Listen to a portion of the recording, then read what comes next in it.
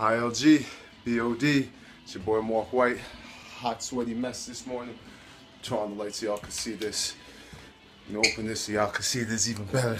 There we go. So today is May 13th, 2016. As I said, I am a hot, sweaty mess this morning. Over my shoulder, I got 22 minutes in the 10 minute trainer. Banged out my workouts this morning. Woke up, did my seven minute back stretches. Did my cold start.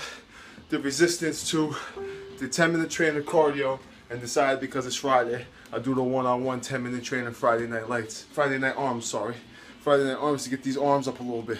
So I banged out over an hour of working out. I feel good. I feel great. John is awake. He's eating right now. Junior's still sleeping. So I got a few minutes. I'm gonna go make my recovery, and my creatine. I'm gonna throw it all together, and I think I'm gonna throw it right in my Shakeology because I've been missing that as my reward. My Shakeology is def- definitely better reward for myself than the recovery and creatine. So I'm gonna put it all together, and I'm gonna do what I do and get it done. All right, guys. Wake up, push play, drink your Shakeology, drink your performance line, and just make sure you, you push that play button because this is all being a product of the product and taking each day as it comes. All right, guys, have a great day. Peace.